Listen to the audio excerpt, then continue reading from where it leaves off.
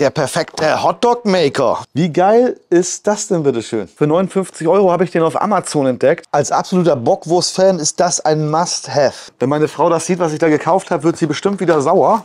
Aber ich würde sagen, wir schauen mal ganz kurz rein. Das Würstchen wird wie an der Tankstelle schonend erwärmt. Äh, nach 15 Minuten soll es soweit sein und es hat die richtige Temperatur ohne platzende Würstchen. Denn das Würstchen wird quasi schonend wie an der Tankstelle hier drin erwärmt. Das heißt, die ganzen Vitamine, die ja natürlich unter der Haut setzen, die bleiben erhalten. Und das ist doch, äh, besser geht's gar nicht. Und ich würde sagen, wir machen zusammen lecker Würstchen. Ab geht's.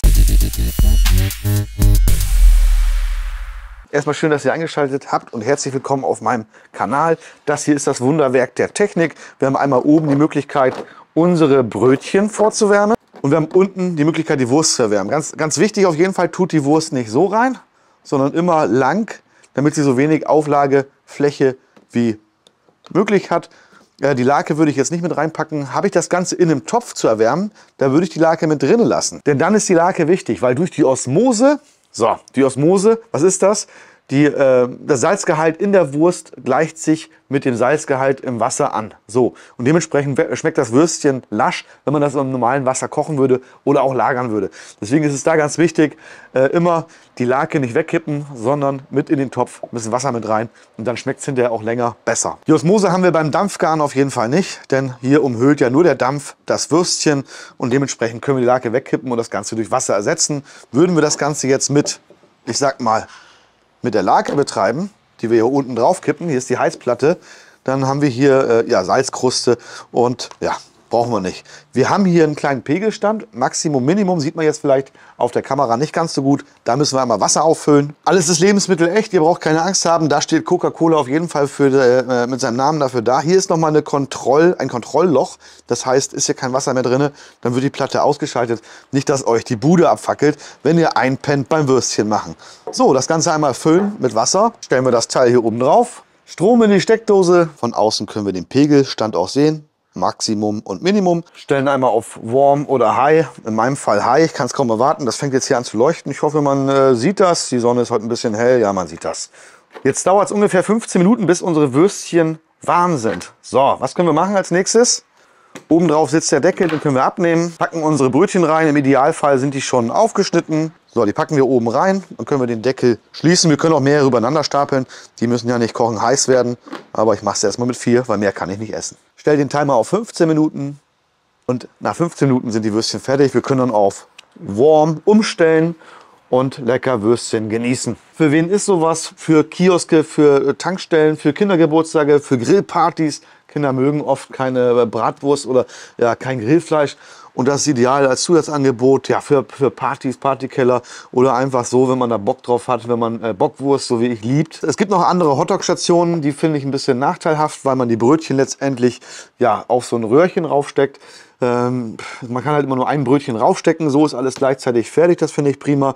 Äh, die Optik ist mega. Und das Wichtige ist, im Gegensatz zum Kochtopf haben wir hier die Vitamine gerettet, die bei einem Würstchen natürlich äh, unter der Haut sitzen. Da sitzen die ganzen Vitamine. Ich freue mich schon auf die Kommentare darüber. Solange wir warten, können wir kurz plaudern. Ich bin sonst früher immer gerne an die Tankstelle gefahren, habe mir den Tankstellenversagen geholt seit Corona. Oder seitdem die Ressourcen dafür teurer geworden sind, äh, habe ich das Gefühl, dass sie auch an der Qualität des äh, Würstchens sparen, weil mir schmeckt das überhaupt nicht mehr. Zumindest bei uns hier in der Region Niedersachsen kann man sagen, dass die Tankstellenwürstchen überhaupt gar nicht mehr schmecken. Ich weiß nicht warum, es schmeckt richtig äh, fettig, ranzig, gammelig und in dem Fall haben wir jetzt hier Trumans Würstchen, die kommen von Maika, das ist auch um, um die Ecke hier gleich. Was ich bei denen gut finde, die haben so wenig wie möglich Inhaltsstoffe immer drin, die versuchen das immer so weit zu reduzieren, damit es mehr Anerkennung halt am Markt findet. Ich denke mal, in 20 Jahren werden wir wahrscheinlich kein Schweinefleisch mehr essen, dann werden wir irgendwas Synthetisches haben. Wenn es genauso schmeckt, mir ist es Wurst. Gut, diese Box, das ist jetzt vielleicht nicht jedermanns Geschmack, das weiß ich nicht. Ich fand es auf jeden Fall mega cool, der Preis passte auch. Ähm, ich mache folgendes, ich habe unter dem Video einen Link und ähm, der führt dann zu Amazon, da ist meine Ideenliste bzw. meine Bockwurstliste und dann könnt ihr verschiedene Geräte mal angucken. Ich fand hier aber Preis, Leistung, Optik und so weiter passte mega. Ja, wir haben wie gesagt hier oben die Möglichkeit viele ähm, Brötchen reinzupacken und nicht nur immer eins. Wir haben hier eine schöne Schublade, wo wir auf jeden Fall zwischendurch gucken können. Das Ganze ist auf jeden Fall Lebensmittel echt und äh, ja klar, es wird nicht jeden Tag benutzt. Das ist wie ein Sandwichmaker, den holt man mal irgendwann zwischendurch mal raus. Aber für jemand so wie ich, der Bockwurst liebt, ist es genau das richtige Teil. Schreibt mal, wie ihr darüber denkt. Wie mag ich meinen Hotdog am liebsten? Ich habe nur Ketchup drauf. Und das reicht für mich, weil ich finde, dass äh, Gürkchen und äh, andere Dinge den Geschmack verfälschen. Aber da ist jeder anders und jeder kann es auch machen, wie er will, ohne dass ich ihn jetzt äh, ja, die Scheiben anwerfe, sage ich mal. Hasse das, diese ekelhaften Röstzwiebeln. Uah, nee, das ist nicht mein Ding.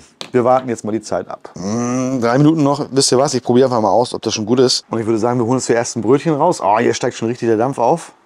Perfekt. Also die Brötchen, die brauchen nicht ganz so lange drin, glaube ich. Sonst werden die nachher zu matschig. Ziehen wir uns ein Würstchen raus. Oh, die sind schon richtig schön prall. Und heiß. Heiß. Oh, der gute Heinz drauf. Ui. Perfekt. Das Brötchen schmiegt sich perfekt den Würstchen an. Also wenn ihr die Brötchen kurz vor Schluss reinwirft, ist es besser. Und es ist definitiv ein Unterschied, ob man die Dampfgart oder in den Topf reinschmeißt. Geschmacklich Bombe. Und wir haben den Vorteil, wir können die ein paar Stunden hier drin lassen. Das heißt, über einen Zeitraum, über eine Mittagspause oder ja, über einen Grillabend kann man das Ding da stehen und Würstchen anbieten. Und äh, bloß die Brötchen würde ich später halt reinpacken.